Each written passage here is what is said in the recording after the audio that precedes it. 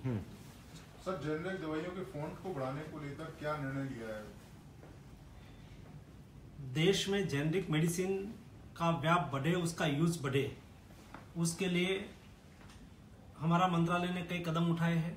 और आदरणीय नरेंद्र भाई मोदी के निर्देश अनुसार देश में, देश के कोई परिवार के कोई लोग बिना दवाई मिलने से मरने की नौबत नहीं आनी चाहिए। ये बात को चरितार्थ करने के लिए मेरे मंत्रालय की ओर से देश में तीन हज़ार तीन सौ जितने जन औषधि केंद्र खोले गए हैं, जहाँ ब्रांडेड के अलावा जेनरिक मेडिसिन मिलती है।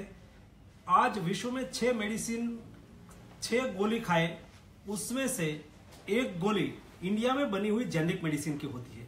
यूएसए में फाइव टेबलेट्स, में से एक टेबलेट्स इंडिया में बनी हुई जेनरिक मेडिसिन की होती है।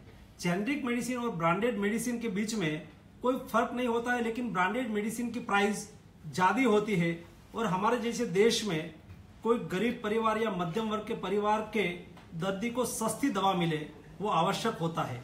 और सस्ती दवा उपलब्ध करवाने के लिए देश में जेनरिक मेडिसिन का व्याप बढ़े, उनके लिए जनौषधि केंद्र तो हमने खोले हुए हैं। उसके साथ साथ सरकार ने कई ऐसे कदम उठाए हैं, जिसमें जेनरिक मेडिसिन का पॉपुलैरिटी बढ़े और मेडिकल काउंसिल ऑफ़ इंडिया ने एक एडवाइजरी जारी किया है।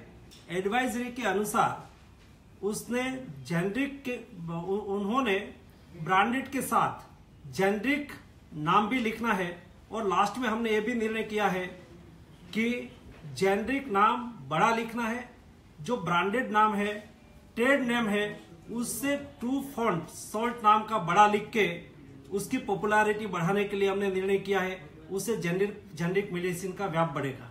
अच्छा दूसरा सर, कोई ऐसा प्रस्ताव भी है कि जो प्राइवेट जो मेडिकल स्टोर्स हैं, उनमें एक रैक जेनरिक दवाइयों की भी रखी जाए? कोई ऐसा भविष्य में कोई प्रस्ताव भी है? आज के दिन में हमने जनौषधि स्टोर के माध्यम से जेनरिक मेडिसिन बेचना शुरू किया है। धीरे धीरे धीरे देश में जेनरिक मेडिसिन का प्रोडक्शन भी बढ़ने लगा है। और धीरे धीरे हम देश में व्यापक रूप में जेनरिक मेडिसिन का उपयोग हो, वो दिशा में काम शुरू किया है। जैसे कि आज वर्तमान समय में कई ऐसे डिसीज है वो डिसीज में परमानेंट मेडिसिन लेनी पड़ती है। मैंने, आप बीपी है परमानेंट मेडिसिन लेनी पड़ती है। डायबिटिक पेशेंट है परमानेंट मेडिसिन लेनी पड़ती है। कार्डियक पेशेंट है परमानेंट मेडिसिन लेनी पड़ती है। कैंसर पेशेंट है परमानेंट मेडिसिन लेनी पड़ती है।